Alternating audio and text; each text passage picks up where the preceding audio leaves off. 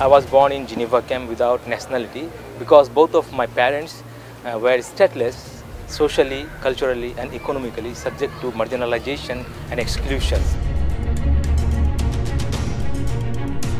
Statelessness is a human rights issue, but it's first and foremost a minority issue.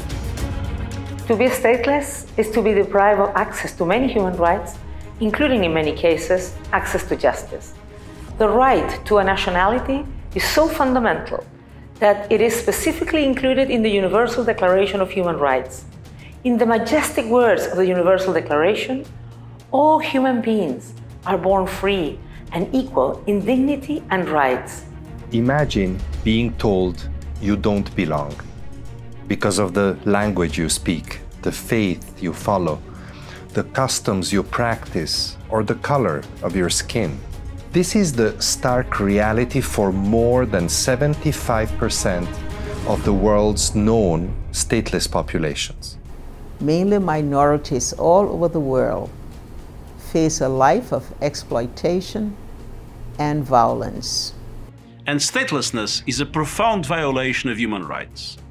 It has dramatic consequences for a person's ability to carry out their daily life, from enrolling in school and getting married to owning property and enjoying freedom of movement. Statelessness can result in lifetimes of discrimination, marginalization, exploitation, and despair. It can make people feel like their very existence is a crime. There needs to be more attention to the dire consequences of statelessness.